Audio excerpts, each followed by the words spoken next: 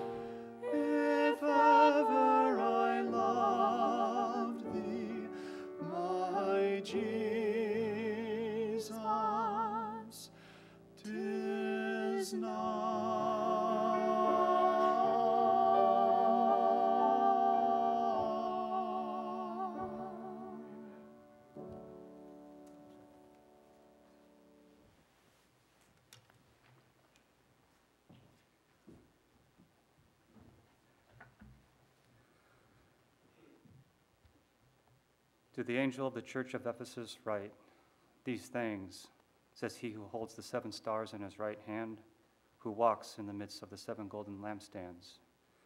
I know your works, your labor, your patience, and that you cannot bear those who are evil.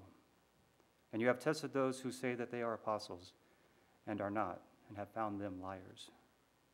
And you have persevered and have patience and have labored for my name's sake and have not become weary. Nevertheless, I have this against you, that you have left your first love. Remember, therefore, from where you have fallen, repent and do the first works, or else I will come to you quickly and remove your lampstand from its place, unless you repent. But this you have, that you hate the deeds of the Nicolaitans, which I also hate. He who has an ear, let him hear what the Spirit says to the churches. To him who overcomes, I will give to eat from the tree of life, which is in the midst of the paradise of God. Revelation chapter 2, verses 1 and 7, 1 through 7.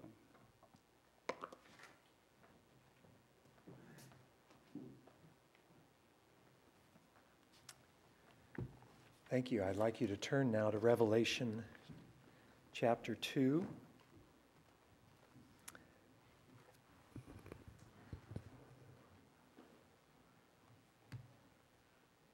Going to begin this next section of the book of Revelation, which deals with the seven churches.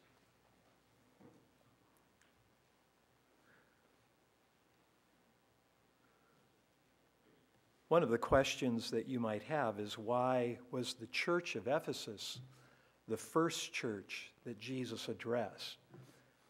And although we're not told in the scriptures exactly why, I would like to at least give some possible reasons for this that may help us in understanding also the, the church of Ephesus. But before we do that, let's, let's have a word of prayer. Father, we thank you that we can meet here today as your children, as the body of Christ, the church. Lord, we know we are, in a sense, like one of these churches.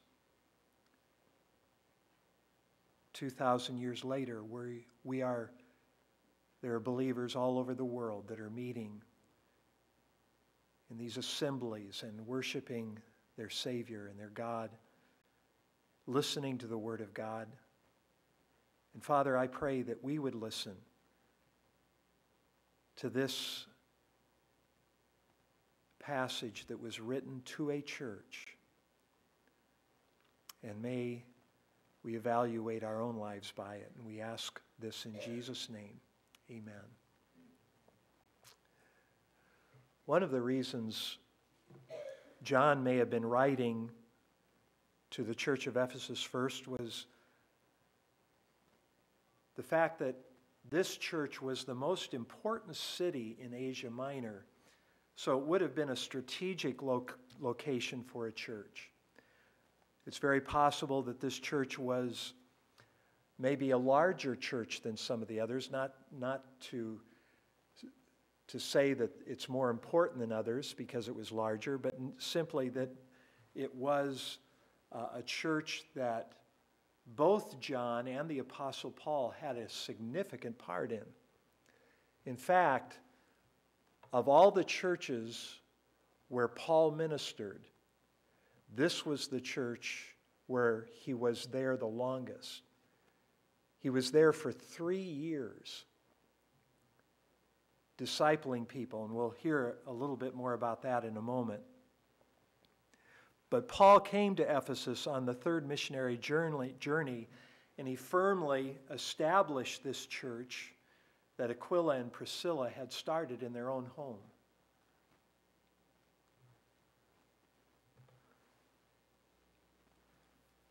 After Paul left this church, Timothy came and pastored it for probably a year to a year and a half. And it was plagued after that by uh, false doctrine or false teachers, um, fables and endless genealogies.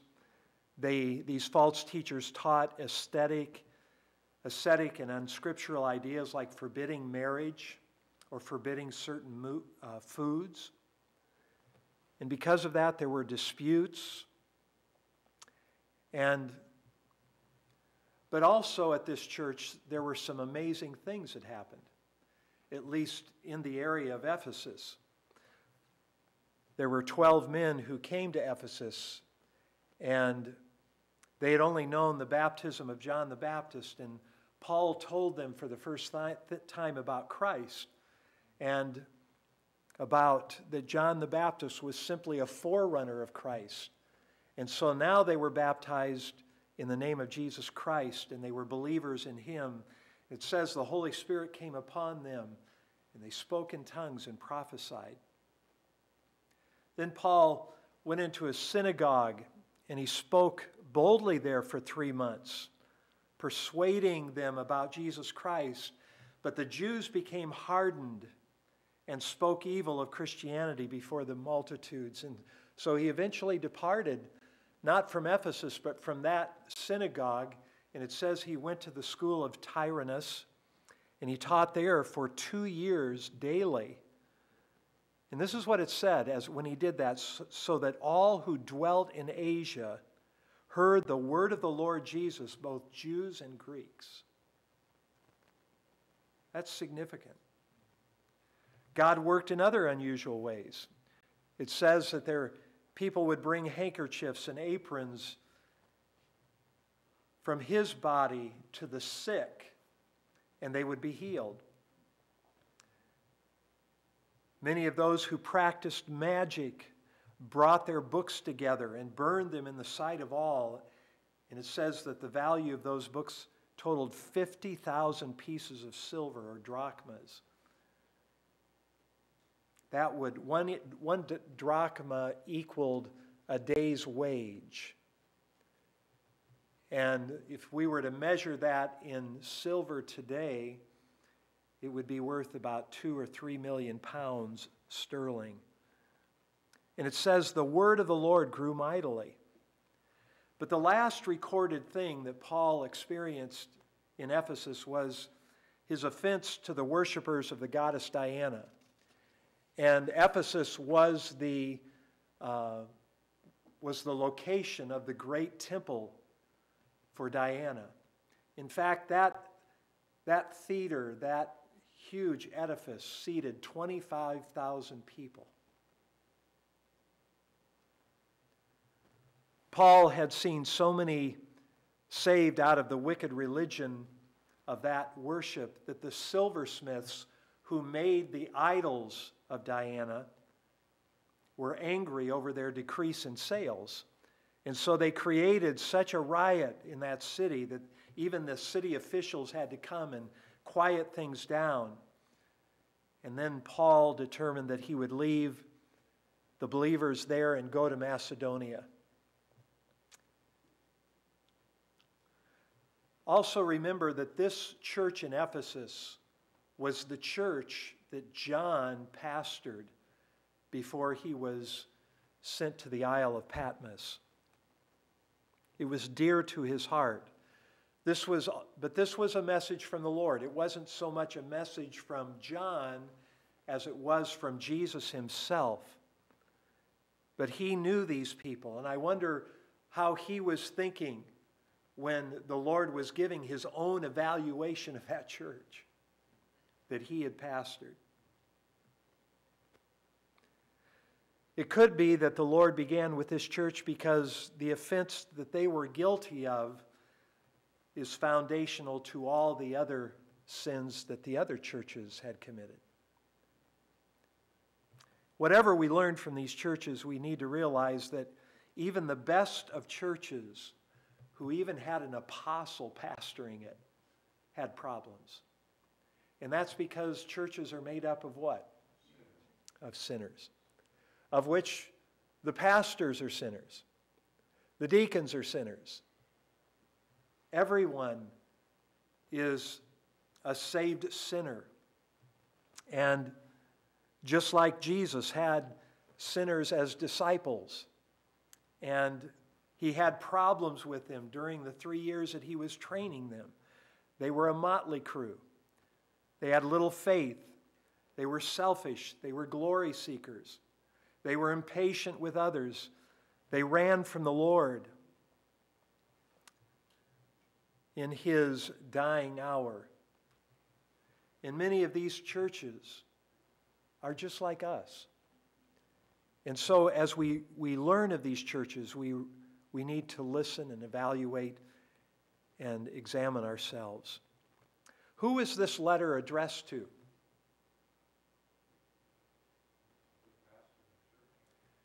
All right, I wanted to make sure that you understood that, that he, he really addresses this to the pastor. The recipient of the message is the pastor. The word angel here, look at verse 1 to the angel of the church at Ephesus, right? And the one speaking is who? It's Jesus Christ. The word angel here literally means messenger or tidings. He also calls this the star, the stars. He, um, he mentions that in chapter 1.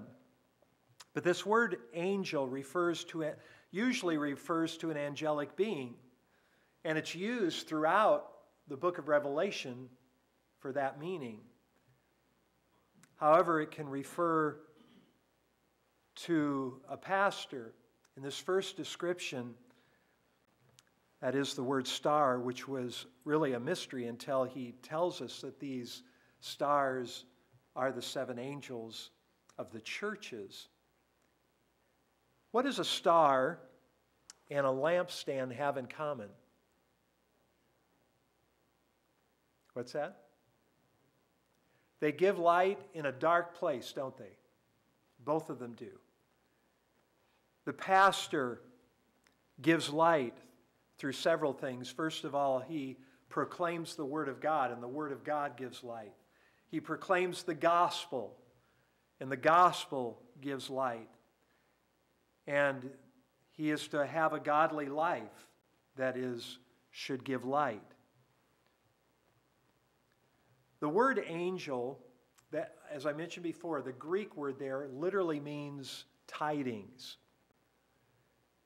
The Greek word is angelos. It's, it's a, really a transcription or transliteration of the word angel, our English word.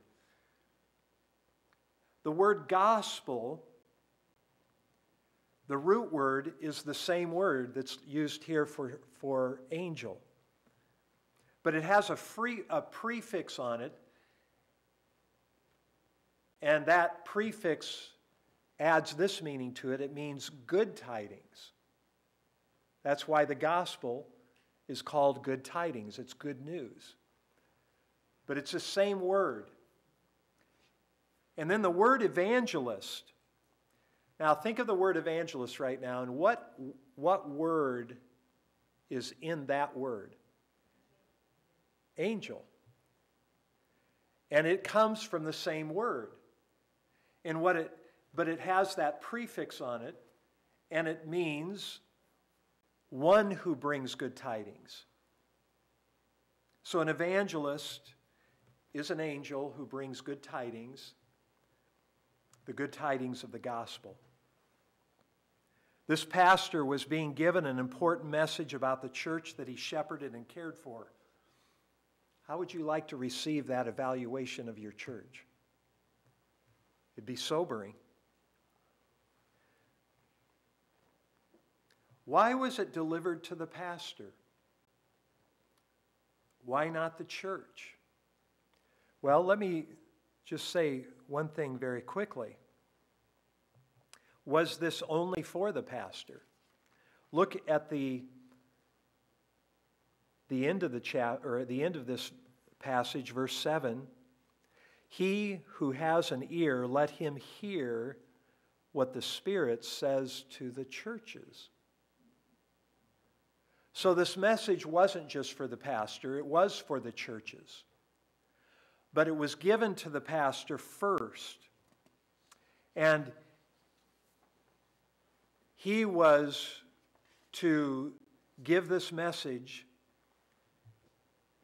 he was to act upon it, he was to, first of all, examine his own life by means of what was being said, and then he was to give it to the churches.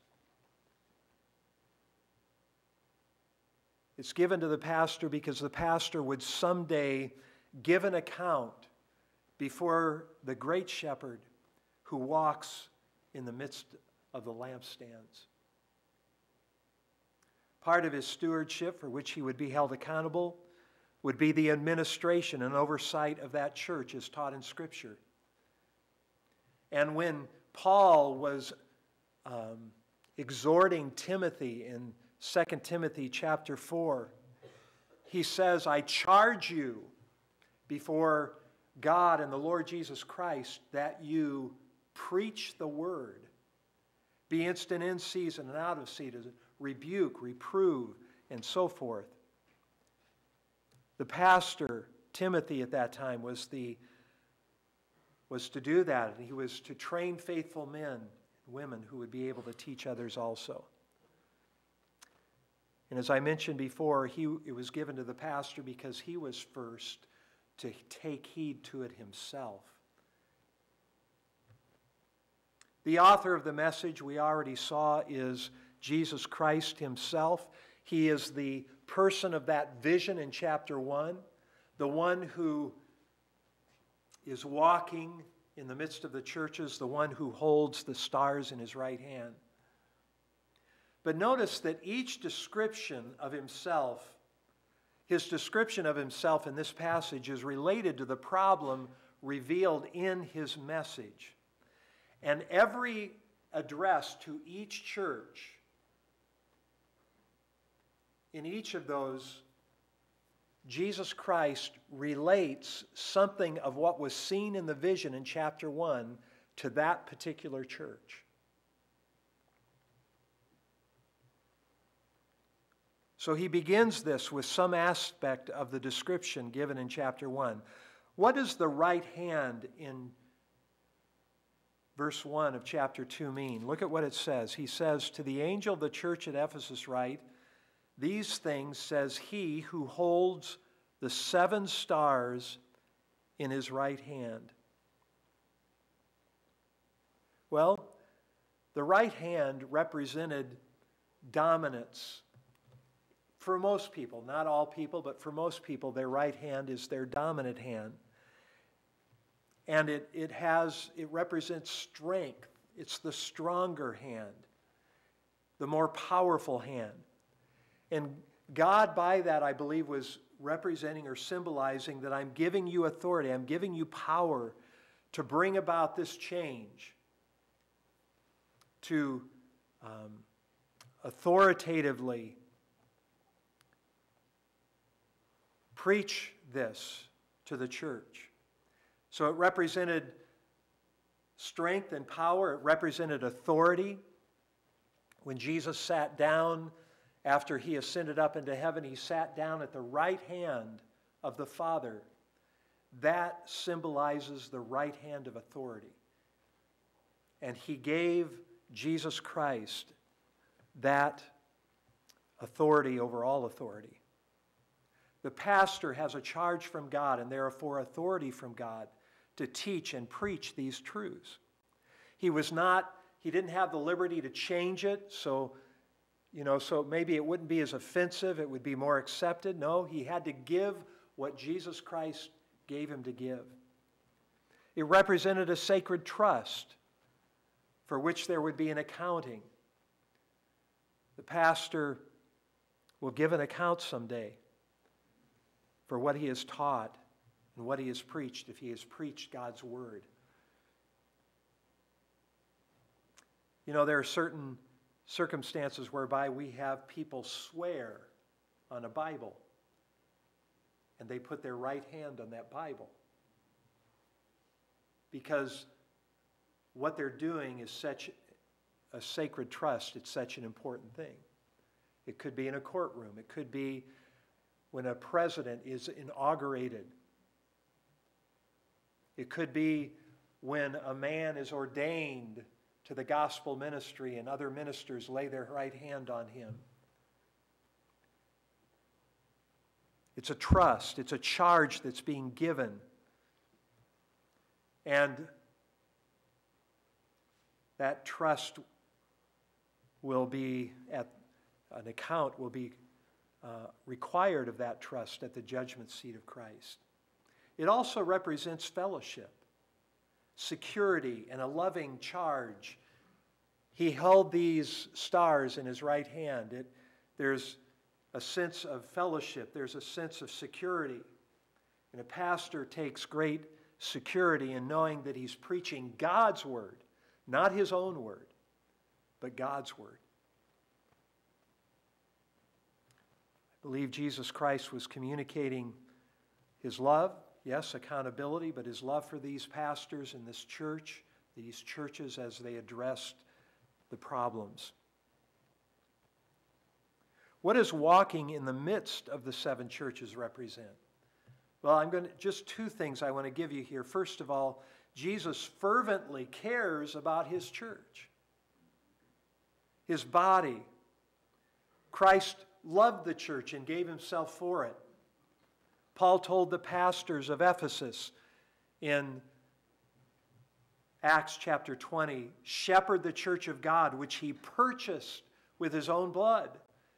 See, the church meant a lot to him. These are the body of Christ, these are the people for whom he died. He cares.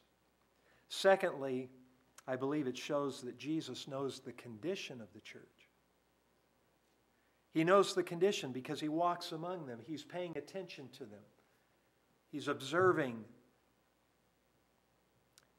And that leads me to say that each message to each church begins with this I know your works.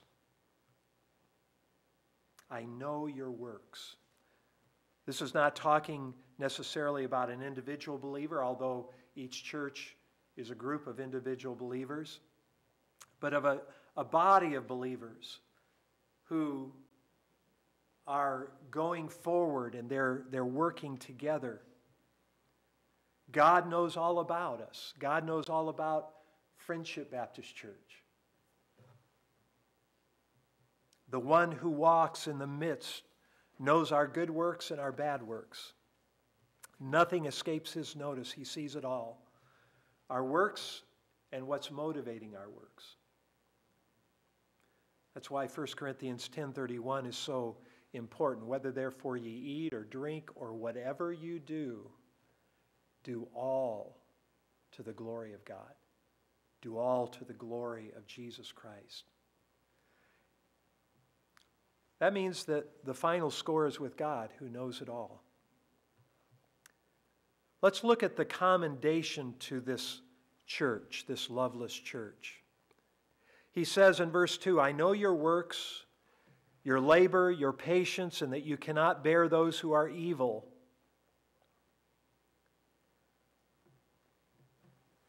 First of all, he kind of sums up their faithful perseverance. I know your labor. That's toil until exhaustion, weary, or even, even toiling until there's pain. Now, some people felt that way after moving a lot of trees yesterday. And, but this, this can be physical, but I, I think it's probably maybe emphasizing more the spiritual and emotional exhaustion of a faithful, of faithful people who were um, toiling. They were laboring for the Lord.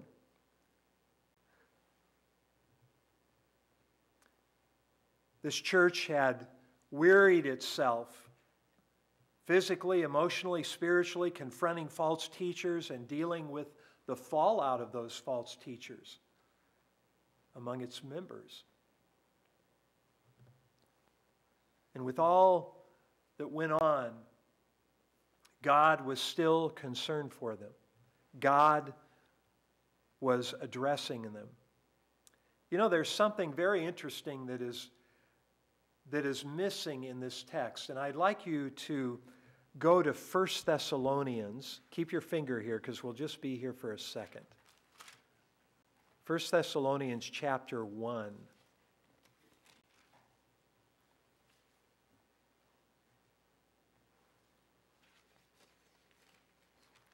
I'm going to read Revelation verse 2 of chapter 2 one more time. It says, I know your works, your labor, your patience now look at 1 Thessalonians 1, verse 3. Remembering without ceasing your work of faith, your labor of love, and patience of hope in our Lord Jesus Christ. Now, did you notice anything missing? Yeah, there's several things. He, it's almost like he mentions the same three things but without the added adjective. And so here he says, I know your, your works, your labor, your patience, but it's not a, a, a labor of love. And he is addressing this problem of lovelessness. So I want you to think about that as we're going through this passage. He didn't call the Ephesians labor a labor of love, he just said your labor.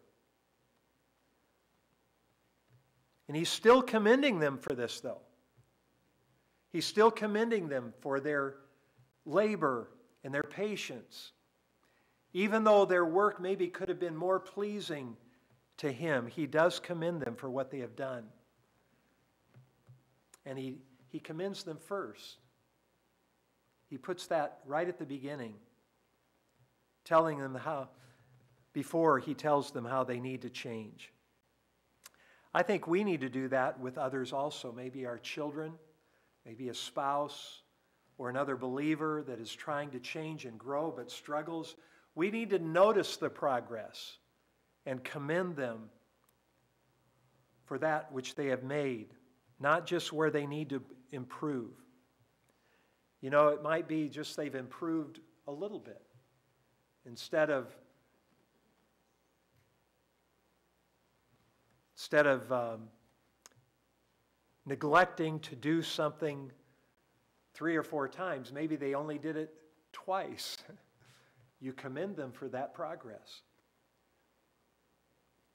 God was commending them. And then he said, I know your patience. And this word means cheerful endurance or constancy. They were faithful and constant in the work of the Lord. They were pluggers.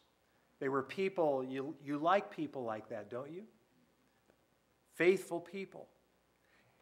The church, as we learned in our, when Pastor Minnick was here, the church was right about 40 years old since its founding, and this church had remained faithful to the Word of God. And yet, God still was, he, he had this issue with them. In a church, we can be standing for the faith. We can be uh, being, we're careful of false teaching and false teachers. We try to be holy. But if we're doing it apart from the love of Christ, we need to evaluate ourselves. Notice their spiritual discernment. I know your intolerance of those who are evil, that you cannot bear those who are evil. That word bear means to endure. You can't endure them. And with, with a, this kind of an evil person, they were not to endure them, they were to deal with it quickly. This is really an unbeliever in sheep's clothing, an apostate. This is what it's talking about. And this word evil speaks of that which is um, morally um, evil in character. And you don't want that to go on. And they did not, for a minute, tolerate those. When they showed who they really were, when they showed their true colors, they immediately took action. And that demands a knowledge of the Word of God, because if we don't know the Word of God, then we don't know what to do. We don't know how to discern false teachers. And remember, he's talking about the church, not just the pastor here. He's describing the church. These are days today where we find ourselves in challenging days, don't we? in discerning the truth. And people need biblical discernment. I want you to turn to 2 Timothy once again, or for the first time. 2 Timothy chapter 4. I quoted verse 2 verses 1 and 2, it starts out, I charge you, therefore, verse 2, preach the word, be ready in season and out of season. Why are they to do this? Why are they to preach the word? Well, look at verse 3. For the time will come when they will not endure sound doctrine, but according to their own desires, because they have itching ears, they will heap up for themselves teachers, and they will turn their ears away from the truth and be turned aside to fables. So, this is needed. Discernment is needed. Teaching is needed. The word is needed. Preach the word so people learn sound doctrine. They learn how to examine what is truth and what is error. John also wrote of this in, in his first epistle. He said, Beloved, do not believe every spirit but test the spirits whether they are of God, because many false prophets have gone out into the world. Now, how are you to test false prophets? Well, look at what he says later in verse 2. He says, By this you know the Spirit of God. Every spirit that confesses that Jesus Christ has come in the flesh is of God. And every spirit that does not confess that Jesus has come in the flesh is not of God. So we discern by doctrine, we discern by the Word of God. If you're still in 2 Timothy, turn to chapter 2. And look at verse 15 and following. He's charging them not to strive about words to no profit. And then verse 15 Be diligent to present yourself approved to God, a worker who does not need to be ashamed, rightly dividing the word of truth. But shun profane and idle babblings, for they will increase to more ungodliness. And their message will spread like cancer See, these were the evil men that they were to cast out, or else it would spread like cancer.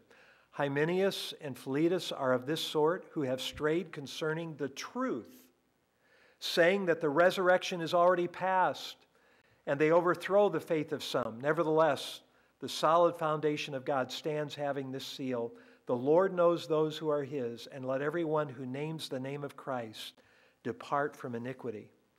But in a great house there are not only vessels of gold and silver, but also of wood and clay, some for honor and some for dishonor. Therefore, if anyone cleanses himself from the latter, those that are for dishonor, which is, he's talking about those false teachers, he will be a vessel for honor if he cleanses himself from these, sanctified and useful for the master, prepared for every good work.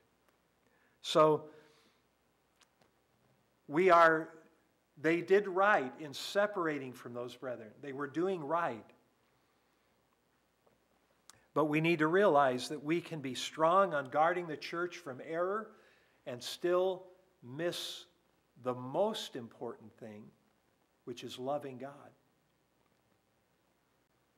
He says, I know you've tested those who say they are apostles.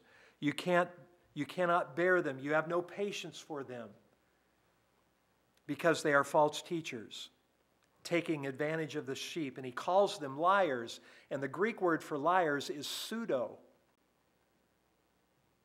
We call a, a so a false prophet is a pseudo prophet. He, he's a fake. And it's used to mark something that superficially appears to be one thing, but is actually something else. It's untrue, it's false, it's an imitation. Then he says, I know you have persevered and have patience. Persevered is the same word that is translated bear earlier. It means to endure, to persevere. They were patient in trial or testing. The Ephesian church was faithful even when under great testing. They were faithful in putting to test those who wanted to be spiritual leaders. Now, turn with me to Ephesians chapter 20, and we'll notice a very interesting note here that applies directly to this passage. Paul had spent three years in the Ephesian church. It ended with him leaving to go to Macedonia because of the incident that happened at the temple of Diana. And he goes to Miletus, which was just a few miles south of Ephesus, and there he calls for the Ephesian elders to come and meet with him. And this chapter, in verse 17 and following, are the words that he spoke to them. But I'm going to start in verse 25. Listen to what it says. And indeed, now I know that you all, among whom I have gone preaching the kingdom of God, will see my face no more. Therefore, I testify you, to you this day that I am innocent of the blood of all men. For I have not shunned to declare to you the whole counsel of God. Remember, Paul took a great, he took this very seriously.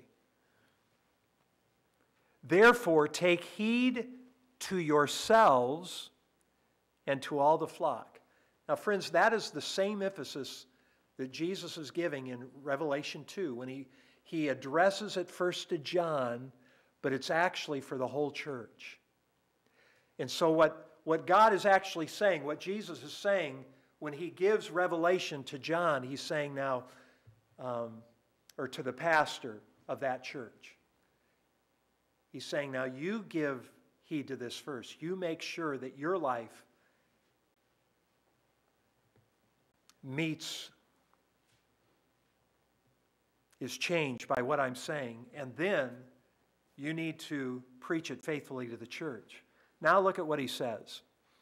I'll start again at verse 28. Therefore, take heed to yourselves and to all the flock among which the Holy Spirit has made you overseers to shepherd the church of God, which he purchased with his own blood. Now, here's what he said For I know this, that after my departure, savage wolves will come in among you, not sparing the flock. Also, from among yourselves, men will rise up speaking perverse things to draw away the disciples after themselves. Therefore, watch and remember that for three years I did not cease to warn everyone night and day with tears. Friends, that is exactly what happened over the next 40 years. They experienced these wolves in sheep's clothing.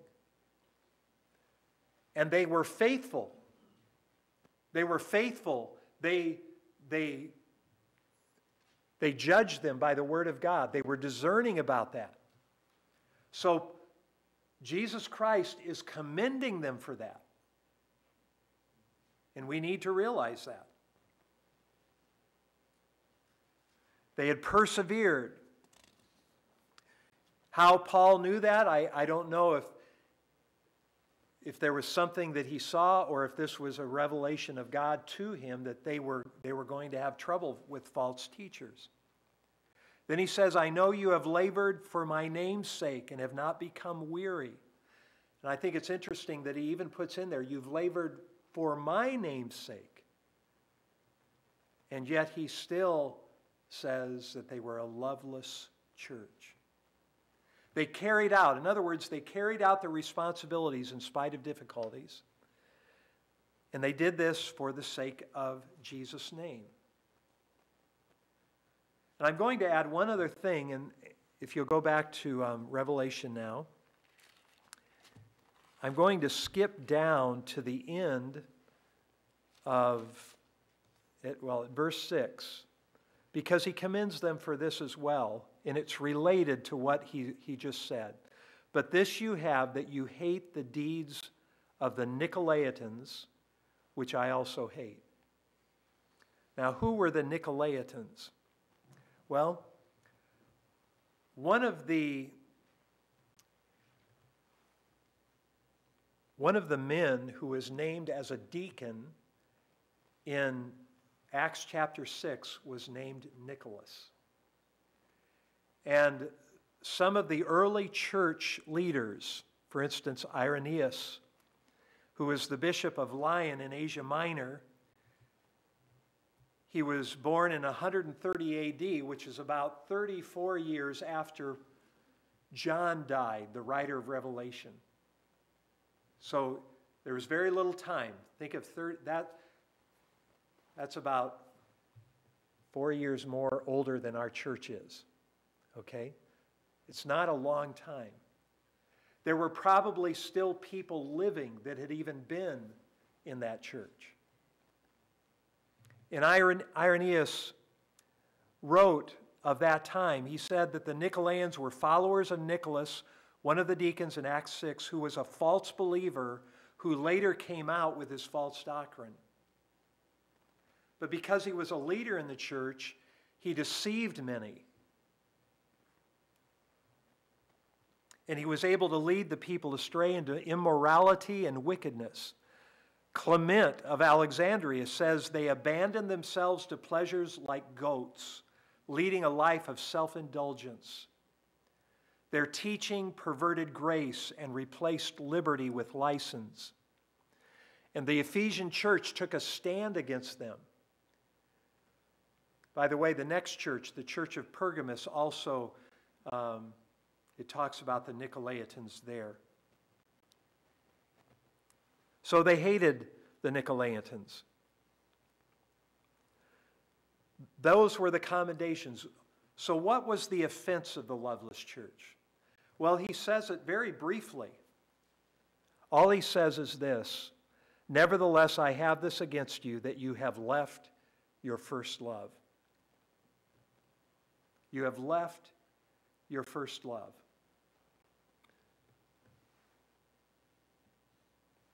How was their commendable works related to their first love? Well,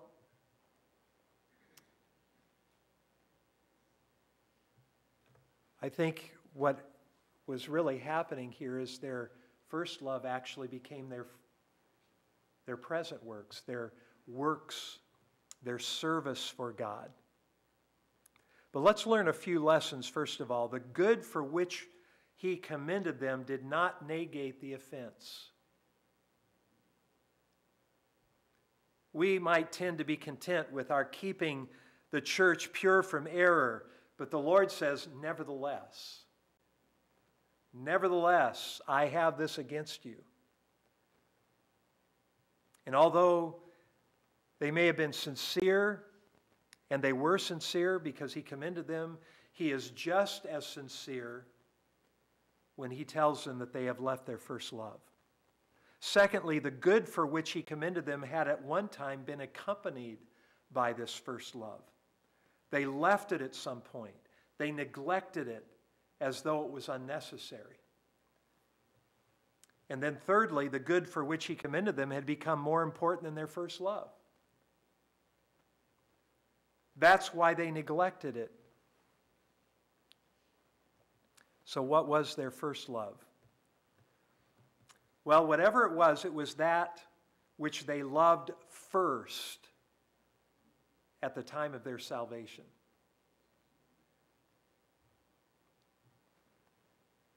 To be a Christian is to love the Lord Jesus Christ and cling to Him.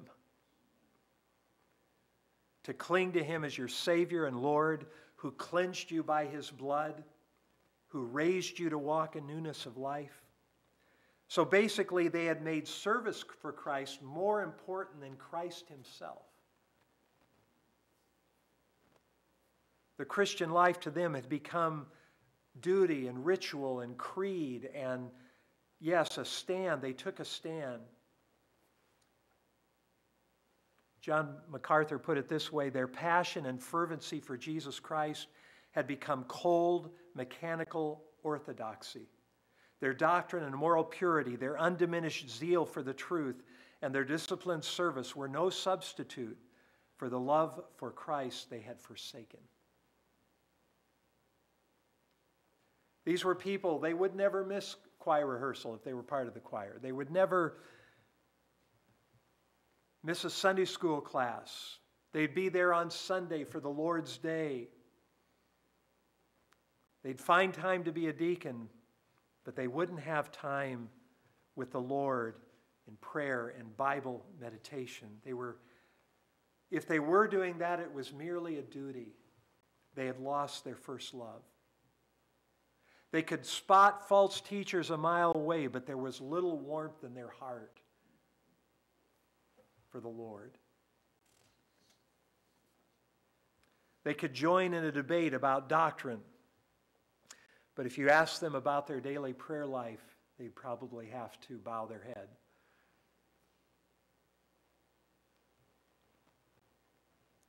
Jeremiah 2 2 says this Moreover, the word of the Lord came to me, that's Jeremiah, saying, Go and cry in the hearing of Jerusalem, saying, Thus says the Lord, I remember you the kindness of your youth, the love of your betrothal, when you went after me in the wilderness, in a land not sown. And then he says later, Therefore I will let I will yet bring charges, charges against you, just like in this letter to the Ephesian church. He says, Nevertheless, I have this against you. And he says this Has a nation changed its gods? Which are not God's. But my people have changed their glory for what does not profit. Be astonished, O heavens, at this, and be horribly afraid. For my people have committed two evils. And that's the passage where he says that they had, they had forsaken him, the living waters, for still waters of a broken cistern. And friends, when we neglect time with the Lord, time in personal worship and consecration to the Lord, we leave ourselves open to idols, to other things that will take the place of our Savior. Because we will worship something. We will worship something. You cannot have two masters, for either you will love the one and hate the other, or vice versa. And when you neglect love for Christ, your service becomes unloving and harsh. Secondly, it was that which they loved most for their entire Christian life the first love and the first works. Notice here, he says, Remember, therefore, from where you have fallen, remember and do the first works.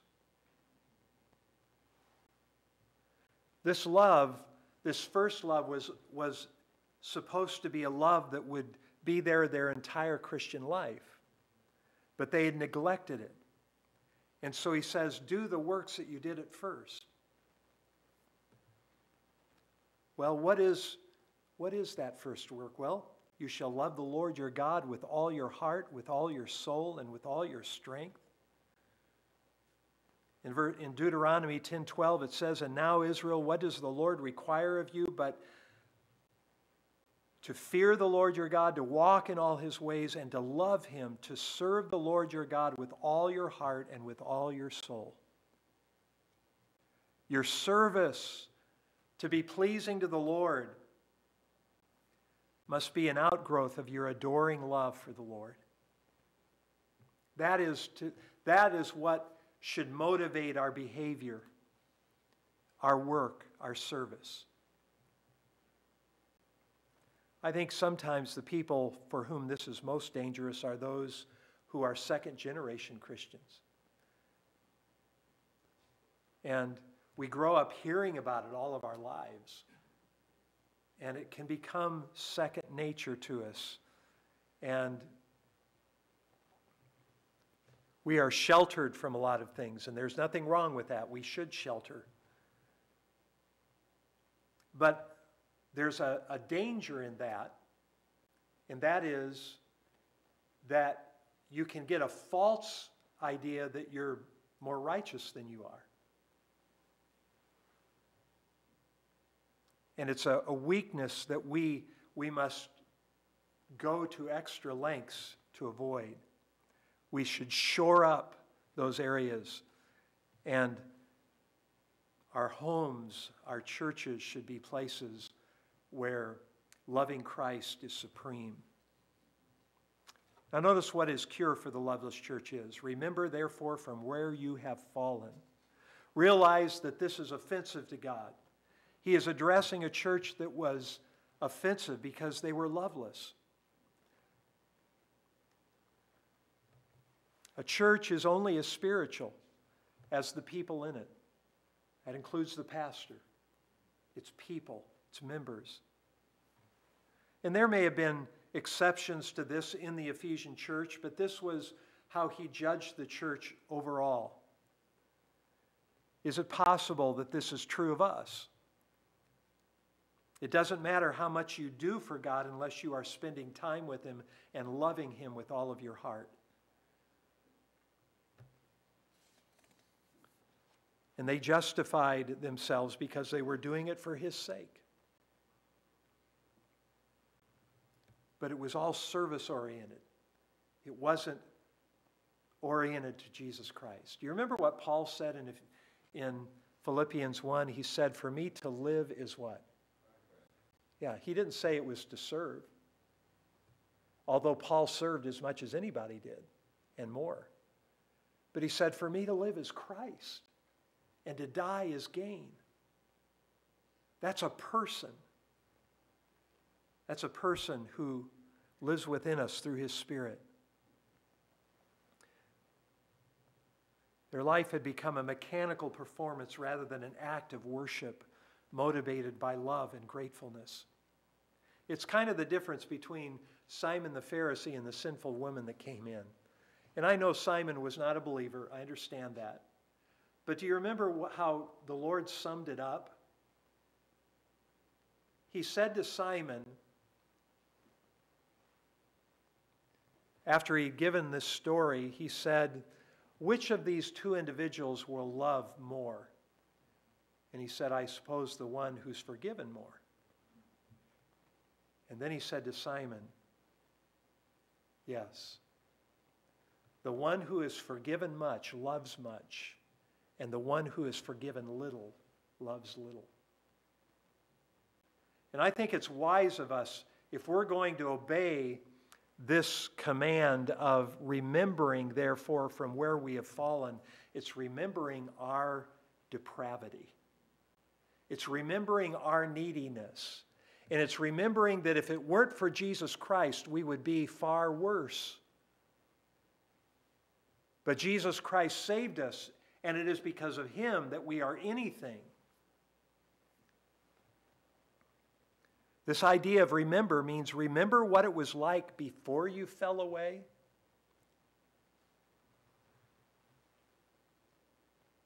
This idea of fallen, it means to drop away, to be driven out of one's course.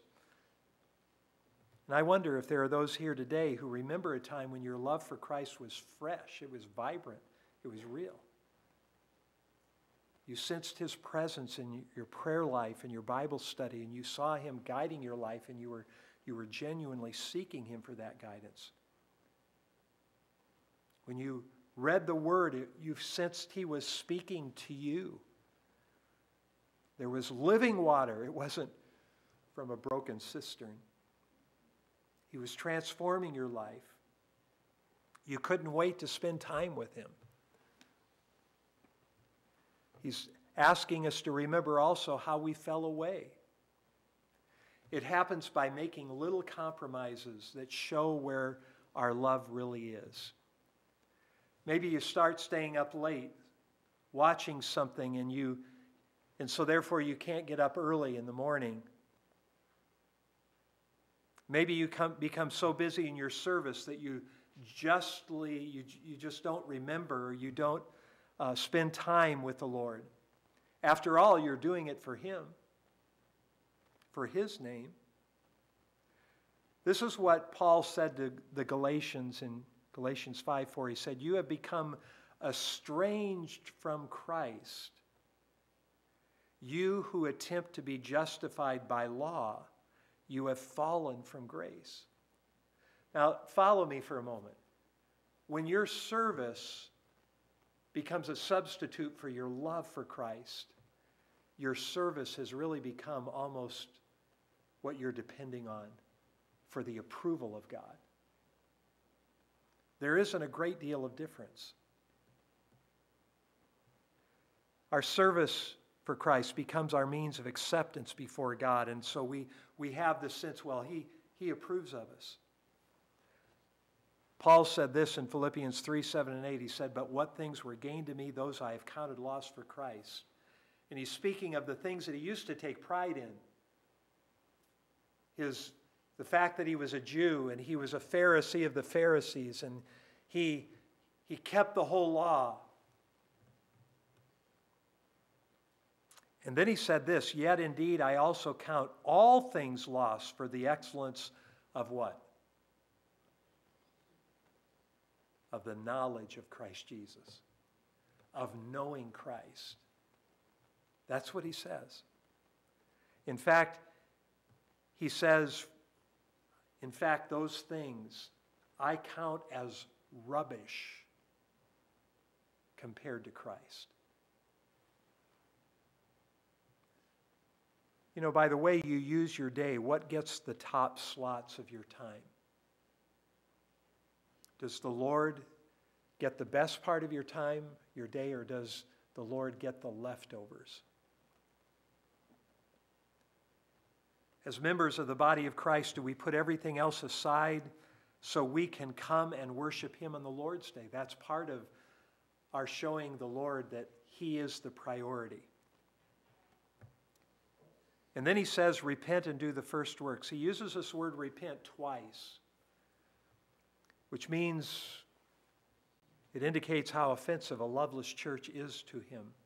The first works are the love they once had for Christ that molded everything they did.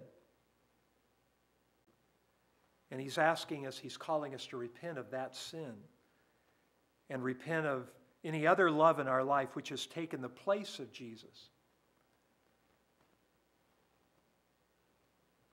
And remember how you got to this place. Where did you go wrong? What caused you to fall away from Him?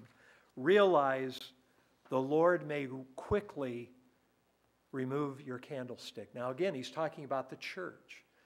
He's not saying that if you're a believer, you can lose your salvation. What He's saying, though, is a church, if a church loses its love for Christ, it will eventually go apostate it will not attract other believers, or it won't attract other sinners to be saved because the love of Christ is not there. That's a pretty serious consequence. And the Ephesian church is no longer in existence. You can go to the ruins of Ephesus God's judgment would bring an end to the Ephesian church because Jesus was not the heart of the church. And without Christ, we can do nothing. A loveless church is a dead church because even the children growing up in that church will tend to go astray because of the lack of love. And we must realize how important love for Christ is to the life of the church. Love for Christ affects everything we do, it affects everything. He was speaking of their love for others in using their spiritual gifts in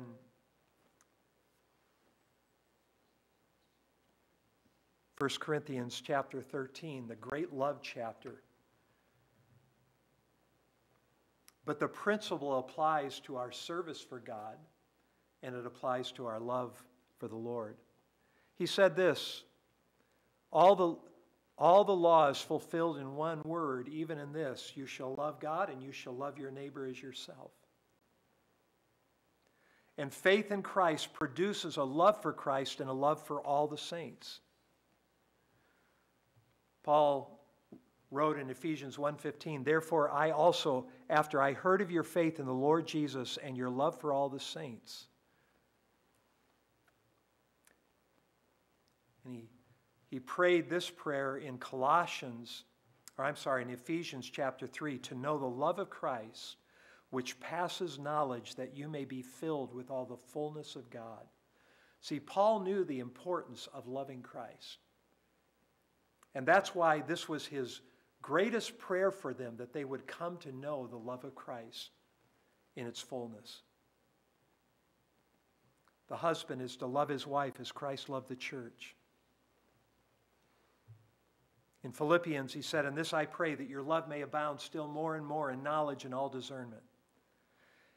You know, sometimes the only thing that will bring us back to an adoring love of Christ is to find ourselves in the circumstance of realizing how sinful we are. We fall. And we thought we were a little further ahead than, we were, than it appears we are. And we come back to the Lord in repentance and we, we are reminded again of our, of our sinfulness and how much we need Him. And we come back and we ask His forgiveness and we express our love for Him and our gratefulness.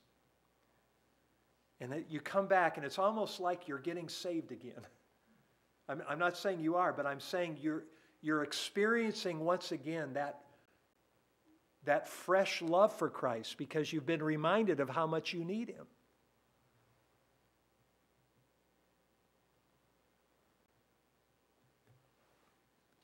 Sometimes bitterness about something can cause a person to fall away. Like Eve, she She had enjoyed this wonderful fellowship with God. He walked with him in the garden. But then a thought came into her mind through Satan that Satan or that God was withholding something from her.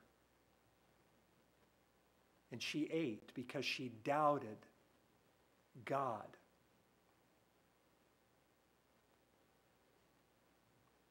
There are many things that can lead us away from our love. Pride will do that. Peter fell, and he fell hard, and he wept over it. But thanks be to God that he restored him, that God restored him. But he was reminded of his depravity, wasn't he? And then, do you remember what the Lord said when he came to him on the shore of the Sea of Galilee? He said, Peter, do you love me? And this time he didn't speak with pride. He just said, Lord, you know I love you. I phileo love you. And then he said, Feed my sheep.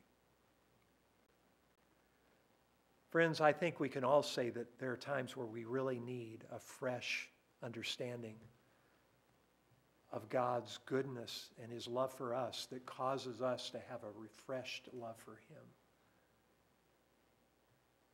How is your love for Jesus Christ right now? Is it burning fervently? Is Jesus Christ your number one priority of every day? Is he the most important person in your life? Is he the one that you go to every day to commune with him, to worship him, to get guidance for your day? And you find yourself even praying to him throughout the day because you long to commune with him. Let's pray. Father, we thank you for the message that you gave to the church of Ephesus, and I believe, Father, we, we all need to re- be reminded of this, and maybe there's someone here today who has lost that love, that f- first love.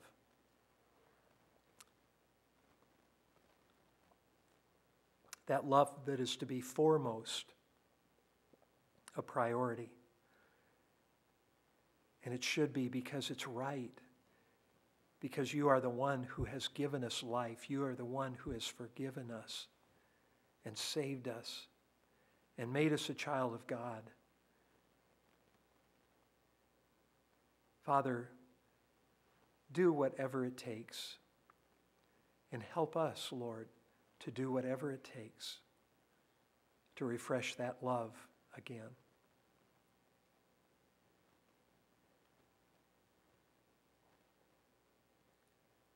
Help us to give you first place in our day, in our time, the best of the day. And we pray this in Jesus' name. Amen. I'd like you to turn in your Bibles, not your Bibles, but your hymnals to number 403.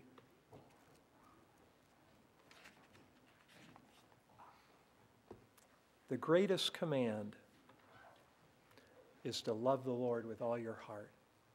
And obviously, that command cannot be obeyed without the help of God. But let's ask Him to show us our need of Him and that we would truly love him with all of our hearts. Let's stand as we sing.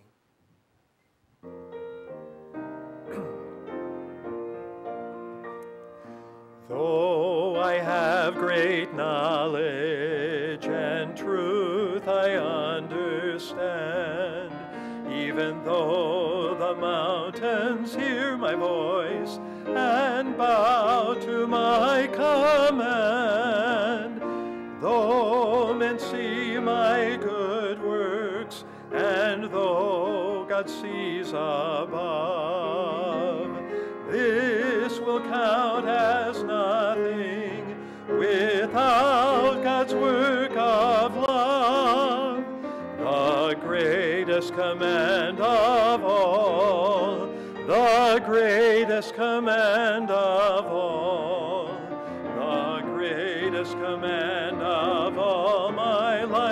is to love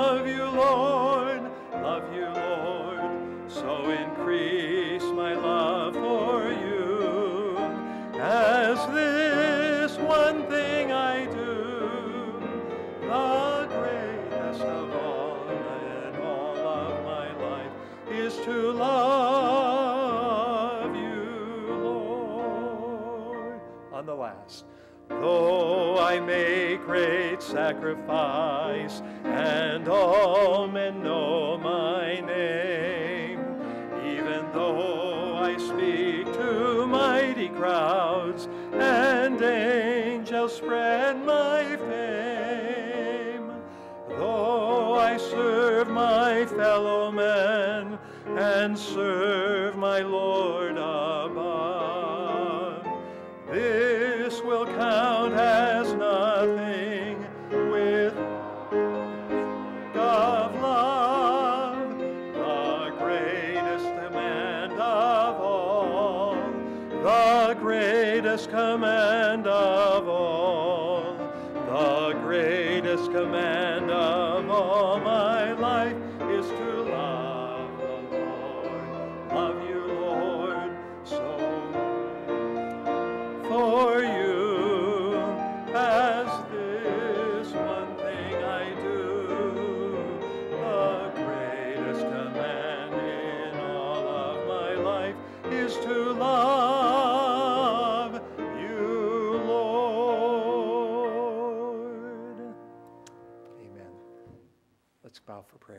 dismiss us now with your blessing. And Father, help us to remember from where we have fallen. And we pray that you would be first in everything. Our communion with you would motivate everything we do. In Jesus' name, amen.